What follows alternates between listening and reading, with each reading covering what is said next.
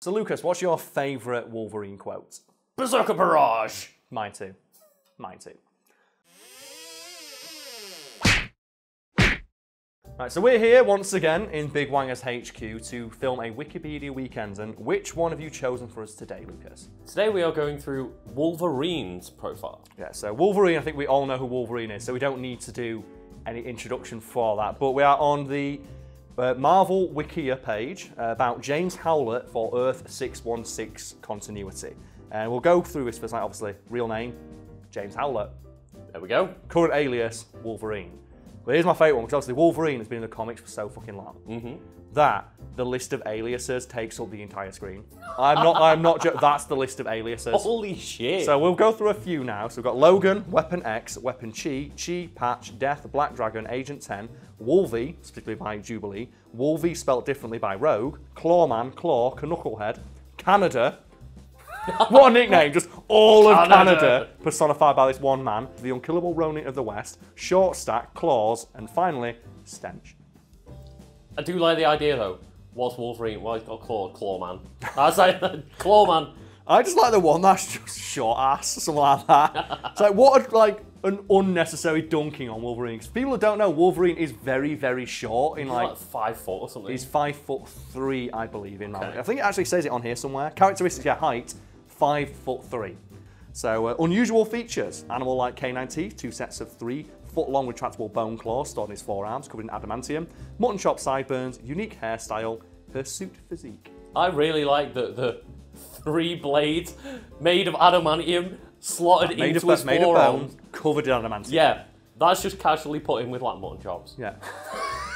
well, mutton chops are just as like you know synonymous with Wolverine as his big old claws. So origin, he's a mutant.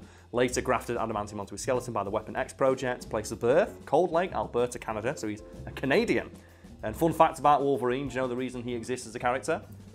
No. because he's Canadian. He was saved from like basically just the cutting room floor. The story goes that the guy in charge of X-Men comics at the time was told we need to cut one of the characters that's been introduced recently. Hmm. And he saved Wolverine because he went, well, he's Canadian and so am I, and we need more Canadians in comics. Oh, okay. So Wolverine only like exists because one guy's like, no, where? Yeah, fucking Canada, let's go. Yeah. So we're gonna skip past the history because that section is about 900,000 words And long. go watch the other eight films on it. Let's just skip straight to personality. And would you like to hear a uh, quote from Wolverine about his personality? So we'll go with There's a part of me as wild and fierce as my namesake. I'm a hard man, given to hard ways. When I fight, it's to win. That isn't pretty, and it sure ain't nice. But being a man, that means choosing to grow and change and put aside the old ways. And also, I think his other quote is like, uh, I'm the best at what I do, and what I do isn't very nice. It's at the very top of this page. Yeah. And I think that's one of my favourite quotes. I think the guy who come up with that's like, yeah, he's really proud of that one, as he should be. So Wolverine is a gruff loner who had a strong sense of personal honour. He also has a wild. Also, I think he must be dead in the current continuity because they're using the word had. Oh, they're referring to him in the past tense, which must mean Wolverine, sadly, is currently dead. but you never know. By the time this, you know, video actually gets edited, he might Be alive been- again. Be alive again. You never know in comics. Well, I made reference to it in another video we did about the X Men, where there is a member of the X Men who, when like their dad dies or something like that, like they're at the funeral, someone asks him, "Are you not sad?" He goes, "Well, he's an X Men. He's gonna come back. X Men always come back." and then I think later in the comics he comes back. It's like, It's "Oh, just like Dragon Ball where no one gives a shit at that. at yeah, that why would you give a shit if your mate dies? You can just wish him back to life. He is also perfectly at home in the wilderness. He is known as one of the most fearless, brave, and dangerous men in the world, stated by Steve Rogers. And when Captain America himself comes out and says, This is the bravest, most fearless man I've ever met, you fucking listen. God, yeah. Like, Captain America is a guy with no superhuman abilities who jumps out of an elevator and lands on the floor and uses the shield to stop the Earth, and it works. Like that moment in The Winter Soldier where Captain America's shield is so good it prevents gravity. yeah. Just He like just gets back up. He's like, just- okay. I think that's one of my favourite moments in the MCU because it establishes that like that version of Captain America can do a charging star. From like Marvel versus Capcom. It's like, "Buddha!" So I was half expecting as he did it for him to say charging star. As he just crashes through the top of shields. I love that thing in like Marvel vs. Capcom where no matter what colour outfit you pick for Captain America, when he does charging star, it's always red, white, and blue. America. Yeah, that man's America to the fucking core. Huh, so Wolverine had established himself quickly as the X-Man most willing to permanently deal with their adversaries by stabbing them with his fist knives.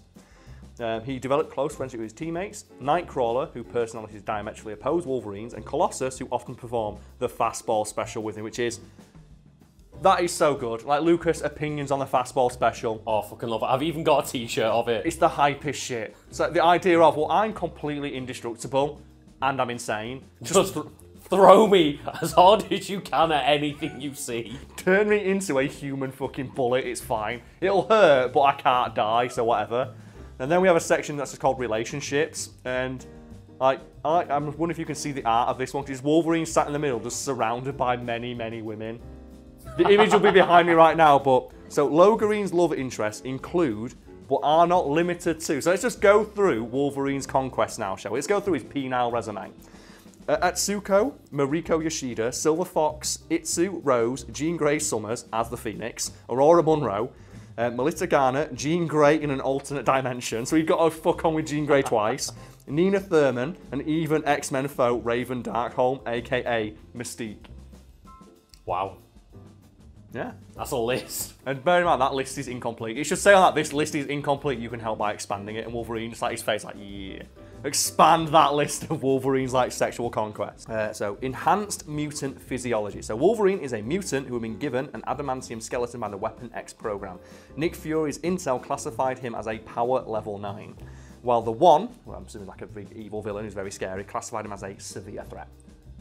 I would. Yeah, I love it as well. He's just a guy, like like power level nine. I think like ten is like world like world threatening. Ten, 10 is like the Hulk level, I think. Yeah, and Wolverine just up there. He's just a dude with knives. How scary is that? This man with knives in his hand is scared, almost as scary as the Hulk. So, um, regenerative healing. Wolverine's body naturally regenerates most, if not all, damaged and destroyed tissue and organs at a rate which exceeds that of any normal human. The rate of regeneration is proportional to the damage caused. This process is automatic, and Wolverine seems to have no control over it. Um, his healing factor, however, does not seem to stop Wolverine from feeling the pain of his wounds nor the pain of his body regenerating itself. So that's that's one. That, that's the number one with a bullet. The thing I want people to know about like Wolverine, if they just like it from the films, that he feels everything. Yep. He just doesn't care. So contaminant immunity. Wolverine's natural healing also falls in virtual immunity to poisons, viruses, diseases, and most drugs. For example, it is extremely difficult for him to become intoxicated from alcohol, which I think is why he's constantly drinking beer and smoking. Like, he's always down in like a bottle of whiskey or beer. Because it doesn't matter. His body Yeah. regenerates from it. It's like um, Deadpool, where it's like, oh, the cancer in your body is being like it's being killed too fast for it to affect your body, but you also like a testicle. So yeah, clearly Wolverine got the better end of that deal. Yeah, it's, he it's a natural mutant abilities instead of one that was like you know implanted into him. So, Whew. So it can be accomplished with extraordinary. Like, this can be accomplished, however, with extraordinary amounts of alcohol, and even then, the entire cycle of intoxication and hangover can be completed in mere minutes. Man, that sounds awesome! Can you imagine getting over a hangover in 30 seconds? But he's only got like two minutes to get drunk. I, I better hit that dance floor fucking hard. he gets one song. Wolverine's healing factor has cured him from the mystical curse of lycanthropy after he had been bitten and turned into a werewolf. he just cured himself of Lucas, werewolf. it gets better. And from vampirism when he was bitten by a vampire. So he's been bitten by both a werewolf and a vampire and recovered from both. He just forced it back out the body. Oh god, he just he just he just manned his way through being a vampire. That reminds me of there's a moment in DC Comics which I think is up there as one of my favourite Superman moments where Superman gets bitten by a vampire, but because Superman's power is derived from like the sun, the vampire explodes. it's just so dumb. It should be noted that the time it took to cure the werewolf curse was curse. So not a disease, it's a curse. Curses just exist in Marvel, deal with it. Was longer than the time it took to cure him of vampirism.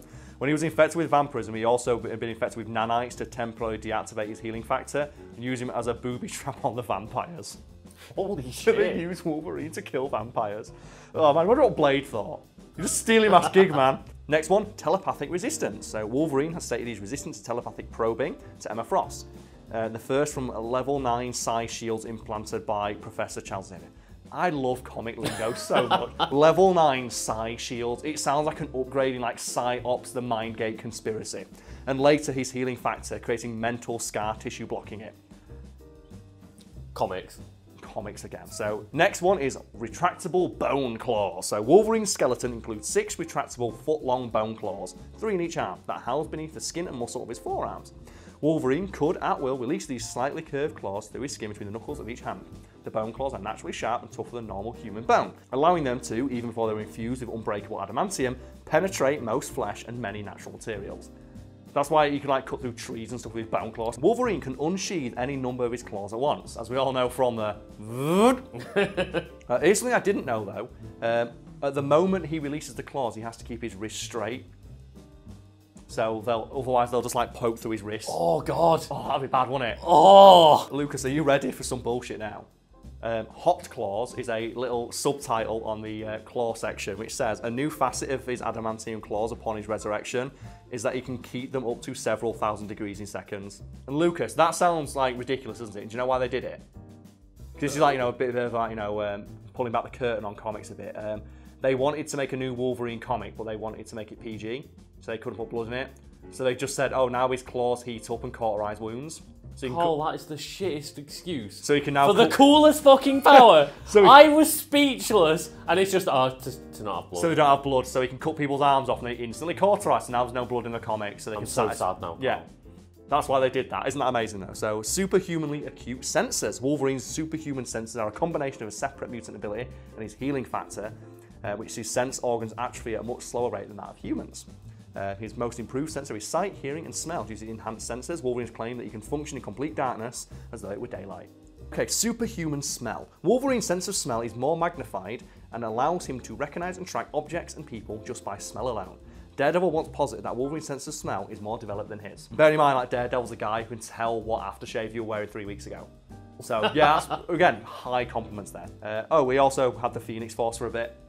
yeah, when you mentioned earlier, oh, uh, aliases, Phoenix, Dark Phoenix, like, what? Um, he also once had a symbiote attached to him, which sounds like the most terrifying thing in the world. Holy shit. Can you imagine if it was like the Carnage symbiote? Wolverine with a symbiote. It's like that comic where the Punisher gets one. Have you heard about that? There's like a what if comic where it's a what about if um, Venom didn't attach itself to Spider-Man, attached itself to like, you know the Punisher. Oh my god. And the Punisher is like, oh, I'm just God now. And he's like, he's basically Jackie Estacado in it, like wielding like four guns at once and just firing in every direction. That sounds It's incredible. so terrifying. And like, do you know the coolest little detail they do? The symbiote attack, like it becomes the skull on his chest. Oh, That's yes. where that's oh so cool. And then the skull on his chest gets the weird venom eyes. It's like oh Yes. it's so good. Uh, he also once had um, Asgardian claws. Of course he did. I'm wondering now what would happen if he wasn't worthy of his claws. Boom! Just stuck. Anyway, so abilities: he's a skilled tracker, above normal intelligence. He's also a master martial artist who has mastered, and I quote, virtually every form of hand-to-hand combat on Earth. Yeah, which is great. But then he just goes, quick, throw me. Which I just like to imagine the first time they like discuss that tactic where it's right, Wolverine, you're like you're here, you're 100 years old, you've fought in countless battles, you are the most experienced, seasoned combatant we have on our team. What should we do in this situation? He goes, throw me. what? throw me. Oh, okay then. He's a weapon expert. He's also a computer and vehicles expert. I kind of I don't like that. I like the idea of him being really bad with computers. Strength level. As a result of Wolverine's constant cellular regeneration, the additional weight and tensile strength of his skeleton, he has some degree of superhuman strength, enabling him to press someone in the excess of 800 pounds. Ooh. Ooh. That's a that's a beefy boy. All of us, some degree of superhuman strength. I like as well. It's like the paraphernalia. Um, he wore a standard X-Men uniform or street clothes. He don't need anything else, does he? He's so fucking good without it. So there's much, much more we could discuss. But let's just end this with some trivia. During the earliest days of Wolverine's creation, Roy Thomas debated whether to call him that or the Badger. Love that. The Badger! He eventually opted for the Wolverine since the other name had connotations that include pestering, bothering, or being annoying. That's his superpower. Just, hey, hey, hey. Super Badger. Um, Chris Claremont intended for Apocalypse to be behind the original adamantium injection in Logan's body. When Barry Windsor Smith explored Wolverine's past to Weapon X, for no reason other than courtesy towards Claremont, he introduced the idea of Professor Truett Hudson taking orders from an unrevealed higher up, with the intention of allowing Claremont to reveal said superior was Apocalypse. Oh, that's just been cheer. Yeah, I'm glad it's just a dude. Yes. Wolverine once made a cameo appearance in a DC comic. In the scene, Wolverine and Doctor Doom are executed by a supervillain team known as the Hyper Clan. I So don't they think- put him in a DC comics and him. just kill them off. Wolverine carries a medical card saying that he's a war veteran who has metal plates in his head to help him bypass metal detectors in airports. that makes so much sense. But what happens when they like scan him and he's just beep, beep, beep, I think he just yeah. I've got, I've got metal plates everywhere. Um, Wolverine was once captured by Shield in prison in the cage. His prison number was four one two zero seven five. Wolverine and Spider-Man became blood brothers during a time travel adventure. Of course, That sounds awesome. Being the Weapon X of the program Weapon Plus, Wolverine considered himself as a Sentinel. Okay. Nick Fury stated in the perfect world that Wolverine will be a level 10 Shield agent. Man, he'd be so good. It would be the best be fucking shield agent. Deadpool has claimed to have hacked Wolverine's Tumblr account. you know what? I, yeah, I'm, I'm ending it there. I'm not.